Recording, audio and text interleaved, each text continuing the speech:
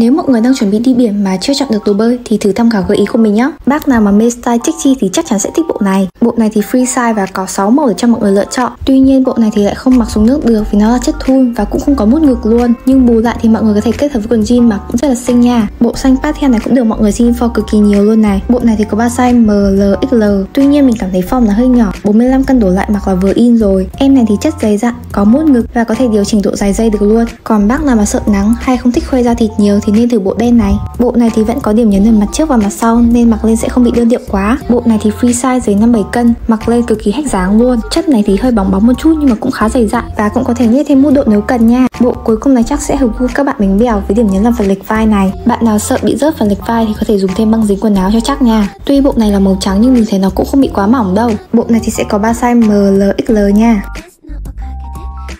có lên một cái vít mặc đồ bơi ý. mọi người hỏi cái đồ bơi của mình khá là nhiều nên là mình sẽ giới thiệu cho mọi người hai set đồ bơi mà cực kỳ tôn giá nha. Hai set ngày hôm nay đều là set liền nha. Set đầu tiên này có cái chất liệu vải trông khá là hay này. À, màu xanh tím than ý chứ không phải là màu đen đâu. Chất liệu của em này khá là đẹp và được me hai lớp. Bên trong thì còn có cả mút lót nữa nên yên tâm không hề hở hang một xíu nào nha. Em này tính ra mình thấy khá là rẻ chỉ có hơn 100 cành thôi mà mình thấy hoàn thiện rất là ok nha. Phần dây có thể nới ra được và điều chỉnh theo ý của mình này. Mình có cảm giác kiểu sẽ hợp với những bạn nào mà không có ngực hơn ý tại vì nếu mà có ngực thì cảm giác nó hơi lộ một chút xíu.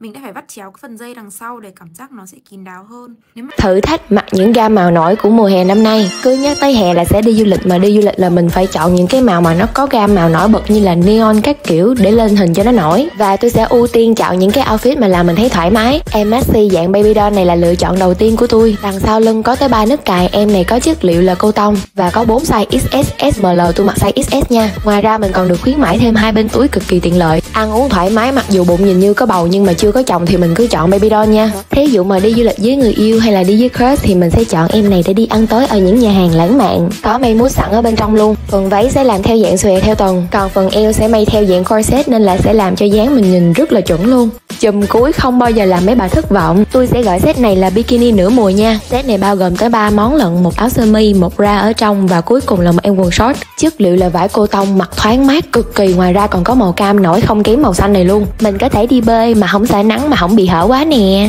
Tìm được cái set này cho mấy bà mà tôi mừng hết lớn luôn á. Hốt lẹ rồi đi chơi sống ảo mấy bà ơi.